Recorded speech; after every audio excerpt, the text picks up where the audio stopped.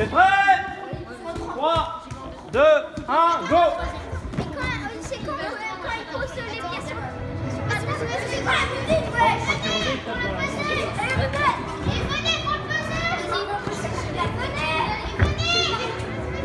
Donc là on est parti sur un Adventure Games, donc ça va être des épreuves de Colanta mélangées à du parcours, parce que moi je suis prof de parcours depuis euh, plus de 10 ans. Donc je mélange avec mon expérience Colanta à travers des épreuves en équipe et des épreuves individuelles.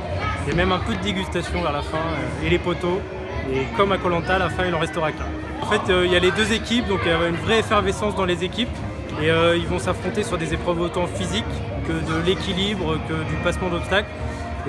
Ou même de la réflexion. Il y a des puzzles à constituer, il faut aller ra- ramasser les pièces les ramener. Et euh, voilà, donc euh, toujours des timings assez serrés, donc euh, un peu de stress dans les équipes. Et, mais ça marche bien, ils sont contents, c'est cool. Bien rester concentré dans les épreuves et, puis donner le maximum de soi-même, c'est ça qu'on vient chercher à Colanta aussi, c'est des, ressources qu'on sous-estime peut-être en nous, qu'on va révéler lors des épreuves. Donc là, on essaie de les pousser un peu pour qu'ils se révèlent aussi individuellement.